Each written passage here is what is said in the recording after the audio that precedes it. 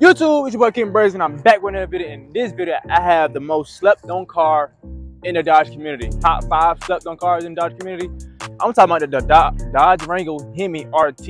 And this is a 2023 black top edition. So let's go, let's go like off the rip. I'm going straight into the on um, the brake calipers, bro. These are six piston Brembo brakes and they're the SRT brakes. Don't get that shit confused or twisted. We got 295s in the front, 295 in the back. Bro, that's not enough to grip this. Like, that's not enough for like you know to get this foot action traction, baby. So yeah, the Brembos, we all know Dodge coming out with the last call edition. So with this right here, even with the Brembos itself, the RTs come with it, all new scat packs come with it. It comes with six piston, six piston Brembos or better on a newer version. This is like probably the best affordable SUV, bro, in Dodge. I'm not gonna lie. Looking on the Trackhawk is all good and all, but that's a Jeep. And also, don't get me wrong, what other SUV that you can fit your whole family in that's affordable like this right here? And plus, you get so much bang for the buck. We always say scat packs get a bang for the buck, but this right here is really the bang for a buck for an SUV. Yeah, I remember SUVs are, are always gonna be high. They always been high. You ever seen a Tahoe cost 60, 50 plus thousand dollars? This is the Durango, bro. And I ain't gonna lie. I'd rather take this Durango over anything.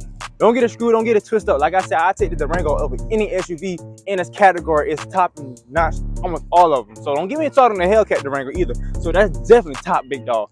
But I'm taking this because I have 365 horsepower. I have 390 pound feet of torque. That's a lot of torque and a lot of horsepower for a family vehicle that's going up and down the road. You think that's not a lot? You think, but bro, get in the car and drive it. I always drive is gonna take you so much crazy as you don't even know.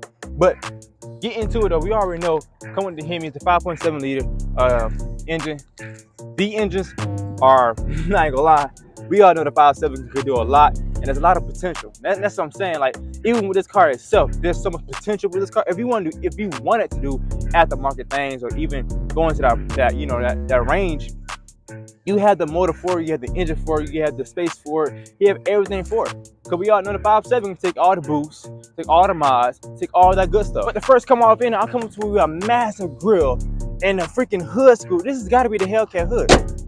I come with the freaking massive hood, the hood scoops, and all my hood scoops are functional. Every hood scoop you see is functional. Even the intake manifold right there is functional. All that stuff is functional, bro.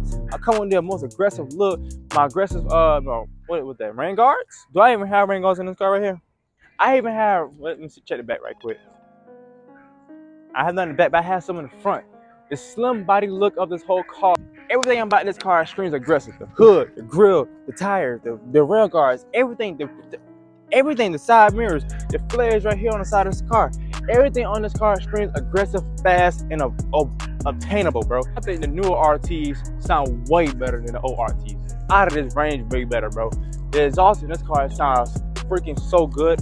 And not even this this car, even the Chargers and the Challenger RTs, it sound amazing. They're the most stuck on RTs. Like, bro, Y'all want to skip to Hellcat to the Scat? What about the RT? You're missing so much in the RT. You're getting so much money for bang for the buck. You hop in the car, boom. First, oh no, first of all, boom. I get in the car, open the door, I get in the car. I look at the panel. We all know we got the satin panel right here. We got this leather right here with this red stitching, bro. Look at that red stitching in there. We have the steering wheel. We also have some more pattern right here and leather with red stitching. You can't forget the red stitching. The red stitching is such a mwah, asset. no kids, and no cap. I'm coming in. I'm getting my big TV screen. I have a wireless, bro, you have a wireless charging port right here. A wireless charging port right here. C charger and USB chargers and an aux. That's crazy. This is freak that. We're not just gonna give you C charger and USB. They give you an aux as well. They don't use aux, but they give you the option for it. And that's cool. For real. I got patent. I got more patent right here. I got leather right here. Oh, that's carbon fiber. Bro, they give you a little bit carbon fiber. It's not a lot of carbon fiber. It is a little bit carbon fiber though. We also got the steering wheel, it's leather, heated and ventilated, cold, you already know. Seats as well, heated and ventilated. You get the nice leather seats, a little pattern right there, but also the red stitching. The red stitching, guys, the red stitching is a must and it's a love. Pattern on the other door as well, red stitching on there, leather. You got space console right here, boom, and boom. Whoa, is that a battery charger right there, bro? What is going on here? That's crazy. I don't know what that is but I think that's a charger battery. I don't know what it is. Sport mode, tow mode, snow mode, track mode, and this right here is the black type of addition, guys. Like I say, so we got track, sport, and tow, and snow. So it's like the track car really, but they give you all the options out the gate. We got some, we even got a sunroof right here. We got a sunroof. We hop in the back, and keep it in mind, guys, I'm 6'2", so this this is pretty spacious back here, bro. We have a lot of space back here. Um, we have more pattern right here, carbon fiber right here, leather right here, we're stitch, red stitching right there, and we have the space right here. Uh, uh, it was it was plug charger as well. A plug charger, USB, and I think heated seats, not ventilated up, heated seats. Oh, you know, up top we got the um air control, cut the air on, bro, it is hot still in South Carolina. Crazy, bro. The weather's like really back and forth. Vents right here, vents right here. Let's take it all back and rewind again so I can show you guys what the really true value of the Durango is. 306 horsepower, 390 horse uh, pound feet of torque, six, six piston Brembos, SRT Brembos as well, 295 front and back, hood scoops, functional hood scoops like that, aggressive grill, aggressive back, sounds mean. Even with stock exhaust, not even cutting the cats, stock exhaust. I have patent leather seats with red stitching as well. I have wireless charging for it. I have a big screen TV. I have a console. The middle console of, of this car is freaking amazing. A leather steering wheel. This Durango is amazing. Like, bro, this Durango is hard. I even have a sunroof. You can see me, I have a sunroof on this Durango. Bro, come on. I have a sunroof. I'm not here to sell you the car. I'm not, I, not, not at all. I'm not trying to give you guys the review of the car, how the car and the assets of the car. I'm not here to sell you the car. I'm just telling you how great this car really is. And this is my true opinion. Right now, I'm in the back seat and I'm 6'2", guys. Look at this space. Look at this. It's so much space back here. It's pretty, it's not crazy spacious, but it's spacious, bro. I'm loving this. I want to say this is my first review of a Durango. Uh, yeah, this is my first review on, on a Durango. It's not even a Hellcat Durango or a Scat Pack Durango. It's a Hemi Durango. And I'm glad I started with the Hemi so I can go up above and see the Scat Pack and the Hellcat version. But in my opinion, I think I've seen enough. Because this right here is enough. I ain't to talk too fast, but I'm excited. Because you can kind of tell hear my voice. That this car has me excited. Well, so let me slow it down and go back and roll for you guys. So you guys know in the new amount of chargers, right? They had the running daylights. Well, we had the same LED lights in the car as well.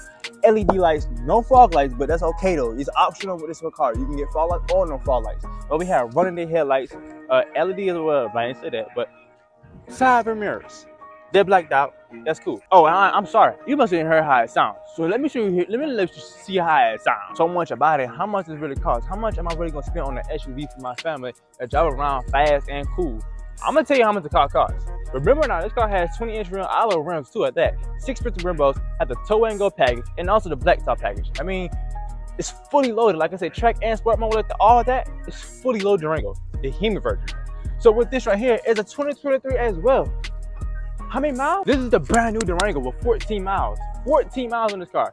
And with 14 miles on a 2020 Durango, it's gonna cost you about 67,000. Oh, oh, oh. Base price of this car is 55000 Dealership price, 67000 That's about what? $12,000 markup? I mean, it's pretty steep, but you come in here and work your little magic and talk a little, you know, I want this car really bad. Just talk a little. You just, all you gotta do is talk a little bit, and I promise you, you can get this car for 65000 I promise you. You can probably get this Durango for 65 66000 It's a brand new Durango with 14 miles.